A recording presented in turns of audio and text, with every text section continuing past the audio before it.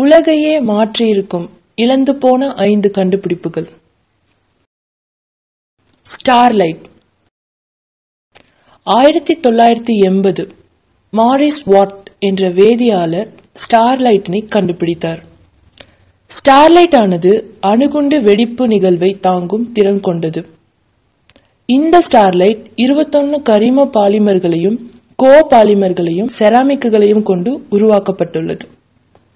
இந்த ஸ்டார்லைட்டினை முட்டையின் மேற்பகுதியில் பூசி ஆயிரத்தி இருநூறு டிகிரி செல்சியஸ் வெப்பம் கொண்ட நெருப்பில் போட்டாலும் முட்டைக்கு எந்த பாதிப்பும் ஏற்படாது.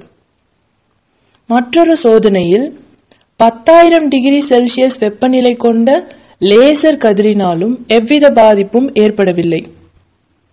இந்த லேசர் கதிரின் சக்தியானது வைரத்தை வெட்டும் சக்தியை விட மூன்று மடங்கு அதிக என்பதை குறிப்பிடத்தக்கது. இந்த ஸ்டார்லைட் லேசான எடை கொண்டது. ஸ்டார்லைட் எரியும் போது நச்சு வாய்வினை வெளியிடுவதில்லை. இந்த ஸ்டார்லைட்டினை பயன்படுத்த திட்டமிட்ட நிலையில் இரண்டாயிரத்தி பதினொன்னில் இதனை கண்டுபிடித்தவர் இறந்ததால் இதன் ஃபார்முலா மர்மமாய் போனது. ஓகல் கார்பரேட்டர் டாம் ஓகல் என்ற அமெரிக்க ஆய்வாளர் ஓகல் என்ற கருவியை கண்டுபிடித்தார். இந்த கருவி எரிபொருள் பயன்பாட்டு திறனை ப- அதிகப்படுத்தியது. அவருடைய கருவி நமது பயன்பாட்டில் உள்ள கார்பரேட்டர்களுக்கு ஒரு மாற்றமாய் அமைந்தது. அவர் கண்டுபிடித்த கருவி பெட்ரோலை நீராவியாக மாற்றி என்ஜினிற்குள் செலுத்தி பயன்படுத்தும்படியாக உருவாக்கப்பட்டது.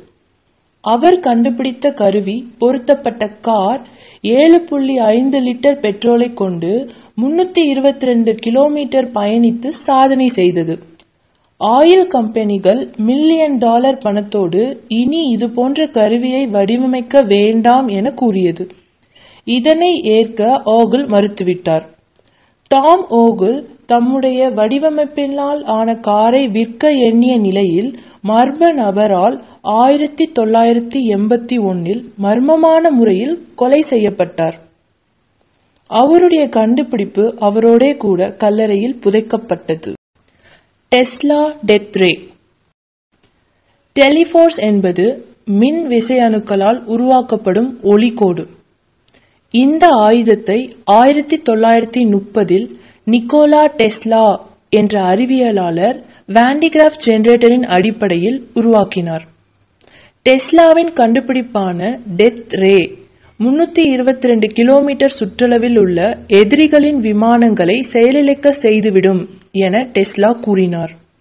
இந்த கண்டுபிடிப்பின் சோதனை வெற்றிகரமாக நிகழ்த்தப்பட்டதாகவும் கூறினார். உண்மையான சக்தி ரகசியமாக உள்ளது.